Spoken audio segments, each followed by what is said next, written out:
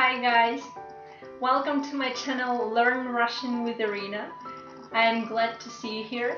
So, how are you today? I hope you're fine. In today's lesson, we're gonna learn how to ask how are you in Russian. As you know, there are many phrases in English which are similar to the phrase how are you, right? For example, how's it going? What's up? What's new? How are you doing? What's going on? etc. In Russian language, we have only a few of them. First, we'll see an informal version of those phrases and then a formal one. Now, let's listen to them and please repeat after me. Как дела? Как поживаешь? Ну как ты? Как жизнь? Что нового? Как у вас дела? Как поживаете? Как дела? Как поживаешь?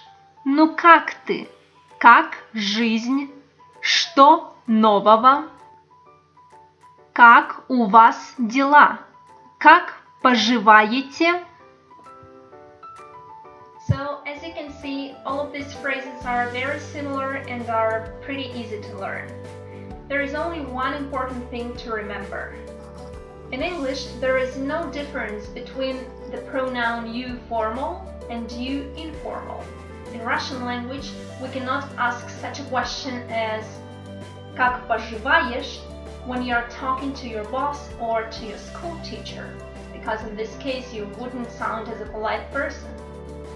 On the contrary, if you are talking to your friend, you can just ask him «Как дела?»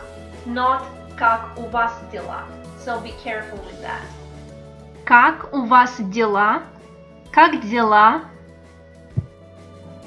And that's all for today guys. I hope this video has been useful and if you like it please give the thumbs up and subscribe to my channel.